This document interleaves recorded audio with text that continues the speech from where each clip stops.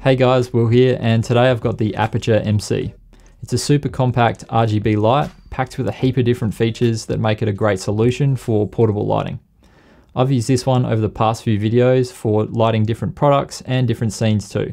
And at $150, I think it's great value for money, especially at how accurate the colors are with this one and also how bright it gets too. First up, there's a protective pouch for the light to fit into. There's a couple of different compartments on this one, one in the front to put the light in and one in the back. You could probably fit some cards or some smaller things in the back there.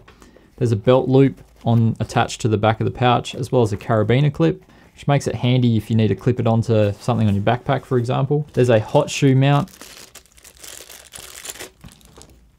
So that just slides into the hot shoe mount on your camera and then this one screws into the bottom of the MC and you can adjust where this one sits too. It came with an Allen wrench so that you can tighten and adjust this screw on the back of it.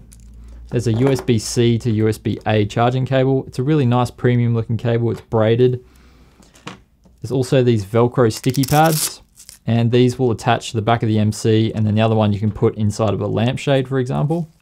And lastly, there's a diffuser that wraps over the MC itself to diffuse the light that comes out of it.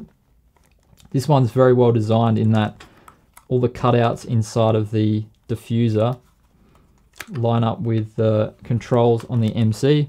So you can still access all the different controls and even see the OLED screen display at the top. There's a space between the light and the diffuser to ensure that it diffuses the light properly. So instead of it being such a harsh light, it's a much softer light instead. In terms of build quality, this one feels quite premium, with all the buttons and controls being quite responsive. It's made from a combination of plastic and aluminium and has this red accent around the outside of the front LED panel, which looks pretty nice. There's these super strong magnets on the back of the housing and the top LED panel looks quite easy to read with everything being spaced out nicely. The size of the MC is similar to that of a credit card and it's about a finger's width wide, which makes it a great choice if you're looking for a smaller form factor light. The MC has a brightness rating of 400 lux with full hue, saturation and intensity control, meaning you can pretty much recreate any color that you want. There's three main lighting modes, HSI, CCT and FX. HSI is for your colors, CCT is a bicolor light with a range of 3200 to 6500 Kelvin, and FX is a set of nine different lighting effects for movie style scenes. Also, magnets. These two on the back here are very strong. They'll stick to pretty much anything metal very well, and they'll even stick to a wall stud if you can locate one. So they're pretty well suited for run and gun style setups. These are strong enough to where you don't have to worry about them coming unstuck at all, and they'll even stick to something that's being moved around or is mobile without coming off easily. And speaking of being mobile, it makes a great on-camera light to use while you're vlogging. You could even use it as a key light, it'd be great for those purposes, or even low light video or photography. So what about charging? Well, there's three different ways to charge the MC. You can use a wireless charging pad, in which case it'll take three and a half hours to reach a full charge.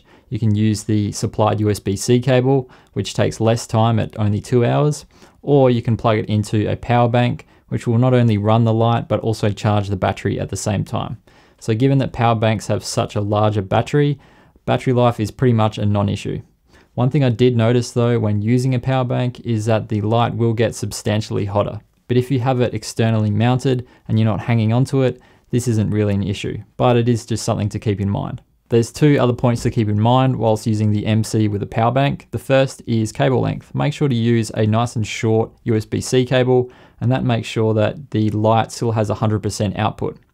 Another point is that the power bank should be rated to at least 5 volts 2 amps. If it's anything less than 2 amps, again the light output suffers by 20% increments all the way down to zero. So make sure that your power bank has at least a rating of, of 5 volt 2 amp and you shouldn't have any issues. Next up is the Sidus Link app, which allows you to have complete wireless control over the MC and change things like hue, saturation, and intensity, and even turn on and off the different lighting effects. This is really handy if you have the light mounted in a really tricky spot and you can't get to the wireless controls easily. Another part I really like about this app is that it can use a color picker feature which makes it so that you can take a picture with your phone and it recreates the color in that picture and shines it through the light. This is really helpful if you're trying to set up a scene and you need all the lights to be the same for continuity. And from what I've experienced, it's actually pretty accurate. So instead of having to stand there and trying to work out what the color temperature is so you can set the scene up right, it's just so much easier.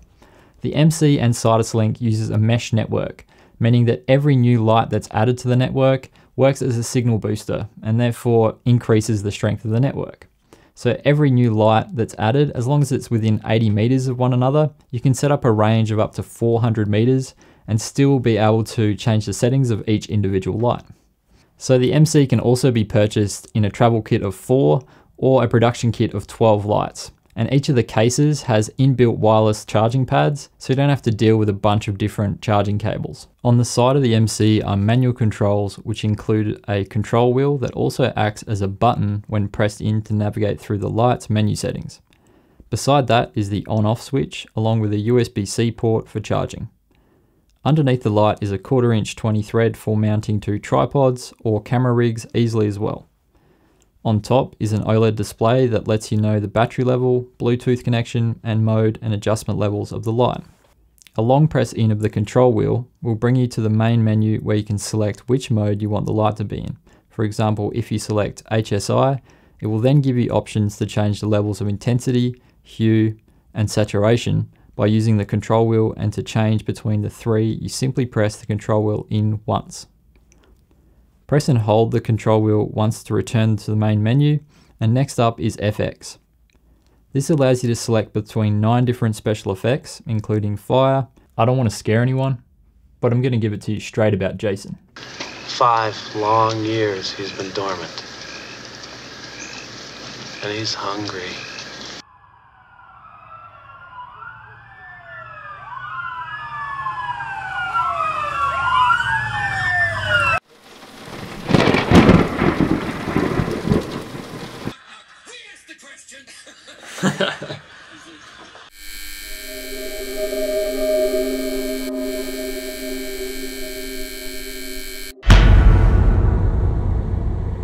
Bluetooth makes it so you can reset the Bluetooth connection if you're having trouble seeing it on your smartphone or need to unpair it for a group of lights to use with a different setup.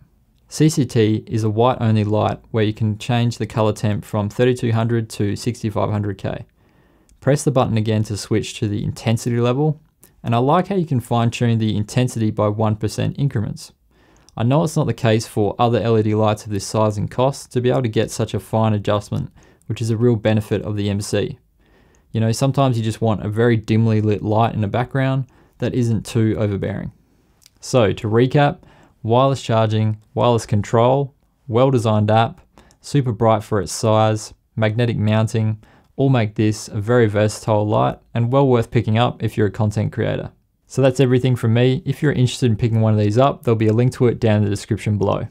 If you enjoyed this video, make sure to leave it a like and don't forget to subscribe to see more videos like this coming up soon. Thanks for watching and I'll see you in the next one.